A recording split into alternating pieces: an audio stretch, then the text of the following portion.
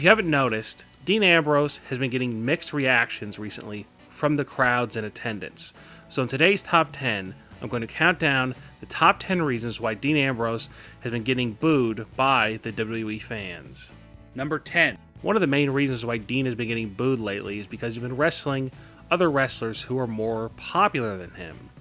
One example is obviously AJ Styles. Number 9. Another gripe that fans have with Dean Ambrose is the fact that he's making movies instead of wrestling. While you're watching this video, Dean Ambrose could be on hiatus making another movie for the WWE.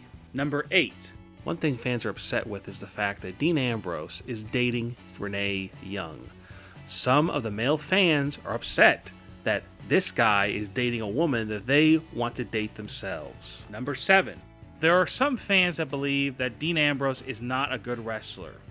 They claim that he just doesn't have the good technical ability that other wrestlers like a Kevin Owens or Seth Rollins has. Number six. Another reason why fans are turning against Dean Ambrose is the fact that they want to turn against him. They want him to be a heel. They so they're booing him so that WWE will get the picture that hey, we want this guy to be a heel. Number five. Many fans think Dean Ambrose could be so much better they think he's not living up to his potential. Number 4. Dean Ambrose's character is basically the same. This is what many fans are, are saying, and they think that his character needs to evolve. He just, it's too much of the same character. Number 3. A lot of people didn't like Dean Ambrose's appearance on Stone Cold Steve Austin's podcast. They thought he just rambled, he didn't give very good answers, and he just didn't come off like a very likable guy. And even Steve Austin, at the end of the interview, said to Ambrose that he needs to not hold back anymore. He needs to let loose, and Ambrose actually got upset with Austin. Number two, Dean Ambrose does a lot of comedy, but this is not really his fault. A lot of fans really don't like it when he does comedy.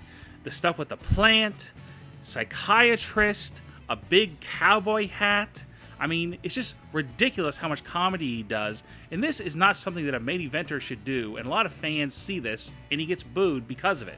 But at the end of the day, it's not his fault. Number one, the main reason why fans are upset with Dean Ambrose is once again something that's not his fault. It's the booking.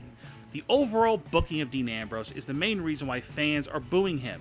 He loses a lot, he's just not booked well. And in the future, if he does win the world title again, he should do it as a heel. Dean Ambrose must turn heel soon. If he doesn't, he's just going to be exactly the same.